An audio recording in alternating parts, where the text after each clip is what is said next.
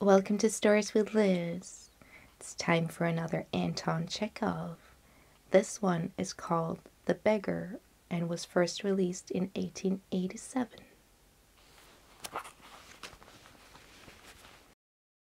Kind sir, have pity. Turn your attention to a poor hungry man. For three days I've had nothing to eat. I haven't five kopecks for a lodging. I swear it before God. For eight years I was a village school teacher, and then I lost my place through intrigues. I fell a victim to calumny. It is a year now since I've had anything to do.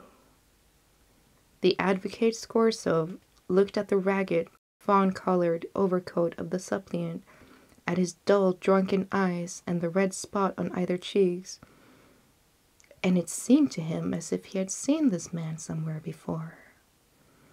I have now had an offer of a position in the province of Kaluga, the mendicant went on, but I haven't the money to get there. Help me kindly, I am ashamed to ask, but I'm obliged by my circumstances. Skvortsov's eyes fell on the man's overshoes, one of which was higher and the other low, and he suddenly remembered something. Look here. It seems to me I met you the day before yesterday in Sadovaya Street, he said, but you told me then that you were a student who had been expelled and not a village schoolteacher. Do you remember? No, no, that can't be so, mumbled the beggar, taken aback. I am a village school teacher, and if you like, I can show you my papers. Have done with your lying. You called yourself a student and even told me what you had been expelled for. Don't you remember? Skvortsov flushed and turned from the ragged creature with an expression of disgust. This is dishonesty, dear sir, he cried angrily. This is swindling. I shall send the police for you, damn you! Even if you are poor and hungry, that does not give you any right to lie blatantly and shamelessly. The waif caught hold of the door handle and looked furtively around for the antechamber like a detected thief. I, I, I am not lying, he muttered. I can show you my papers.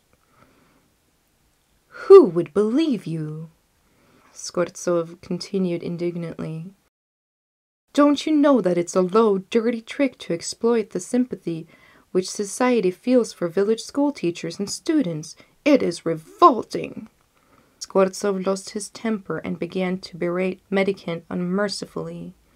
The imprudent lying of the ragamuffin offended what he, Skvortsov, most prided in himself his kindness, his tender heart his compassion for all unhappy things. That lie and attempt to take advantage of the pity of its subject seemed to him to profane the charity which he liked to extend to the poor out of the purity of his heart. At first, the waif continued to protest innocence, but soon he grew silent and hung his head in confusion. Sir, he said, laying his hand on his heart. The fact is, I was lying. I am neither a student nor a school teacher. All that was fiction. Formerly, I sang in a Russian choir and was sent away for drunkenness. But what else can I do? I can't get along without lying. No one will give me anything when I tell the truth. With truth, a man would starve to death or freeze to death without lodgings. You reason justly, I understand you, but what can I do? What can you do? You ask what can you do? cried Skvortsov, coming close to him. Work! That's what you can do. You must work. Work, yes, I know that myself. But where can I find work? By God, you judge harshly. cried the beggar with a bitter laugh. Where can I find manual labor? It is too late for me to be a clerk because in trade one has to begin as a boy. No one would ever take me for a porter because they couldn't order me about. No factor would have me because for that one has to know the trade, and I know none. Nonsense! You always find some excuse. How would you like to chop wood for me? I wouldn't refuse that. But in these days, even skilled woodcutters find themselves sitting without bread. Hush! You loafers all talk that way. As soon as an offer is made you, you refuse it. Will you come and chop wood for me? Yes, sir, I will. Very well. We'll soon find out. Splendid. We'll see. Skvortsov hastened along, rubbing his hands, not without feeling malice, and called his cook out of the kitchen. Here, Olga, he said, take this gentleman into the woodshed and let him chop wood. The tatterdemalion scarecrow shrugged his shoulders as if in perplexity and went irresolutely after the cook. It was obvious from his gait that he had not consented to go and chop wood because he was hungry and wanted work, but simply from pride and shame. Because he had been trapped by his own words. It was obvious, too, that his strength had been undermined by vodka and that he was unhealthy and did not feel the slightest inclination for toil. Skvortsov hurried into the dining room. From its window one could see the woodshed and everything that went on in the yard. Standing at the window, Skvortsov saw the cook and the beggar come out into the yard by the back door and make their way across the dirty snow to the shed. Olga glared wrathfully at her companion, shoved him aside with her elbow, unlocked the shed, and angrily banged the door. We probably interrupted the woman over her coffee, thought Skvortsov. What an ill-tempered creature. Next he saw the pseudo-teacher, pseudo-student, seat himself on a log and become lost in thought with his red cheeks resting in his fists. The woman flung down an axe at his feet, spat angrily, and judging from the expression of her lips, began to scold him. The beggar irresolutely pulled a billet of wood toward him, set it up between his feet, and tapped it feebly with the axe. The billet wavered and fell down. The beggar again pulled it to him, blew on his freezing hands, and tapped it with his axe cautiously as if afraid of hitting his overshoe or of cutting off his finger. The stick of wood again fell to the ground. Skvortsov's anger had vanished, and he now began to feel a little sorry and ashamed of himself for having set a spoiled, drunken, perchance sick man to work at menial labor in the cold. Well, never mind, he thought going into his study from the dining room. I did it for his own good. An hour later, Olga came in and announced that the wood had all been chopped. Good. Give him half a ruble, said Skvortsov. If he wants, he can come back and cut wood on the first day of each month. We can always find work for him. On the first day of the month, the waif made his appearance and again earned half a ruble, although he could barely stand on his legs. From that day on, he often appeared in the yard, and every time work was found for him. Now he would shovel snow, now put the woodshed in order, now beat the dust out of rugs and mattresses. Every time he received from 20 to 40 kopecks, and once even a pair of old trousers was sent out to him. When Skvortsov moved into another house, he hired him to help in the packing and hauling of the furniture. This time the waif was sober, gloomy, and silent.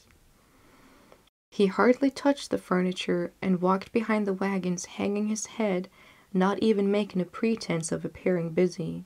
He only shivered in the cold and became embarrassed when the carters jeered at him for his idleness, his feebleness, and his tattered fancy overcoat. After the moving was over, Schwarzkopf sent for him. Well, I see that my words have taken effect, he said, handing him a ruble. Here's for your pains. I see you are sober and have no objection to work. What is your name? Lushkov. Well, Lushkov, I can offer you some other cleaner employment. Can you write? I can. Then take this letter to a friend of mine tomorrow, and you will be giving some copying to do. Work hard, don't drink, and remember what I have said to you. Goodbye. Pleased of having put a man on the right path, Schwarzkopf tapped Lushkov kindly on the shoulder and even gave him his hand at parting. Lushkov took the letter and from that day forth came no more to the yard for work. Two years went by. Then one evening, as Schwarzkopf was standing at the ticket window of a theater paying for his seat, he noticed a little man beside him with a coat collar of curly fur and worn sealskin cap. This little individual timidly asked the ticket seller for a seat in the gallery and paid for it in copper coins. Lushkov, is that you? cried Schwarzkopf, recognizing in the little man his former woodchopper. How are you? What are you doing? How is everything with you? All right. I am a notary now and get 35 rubles a month.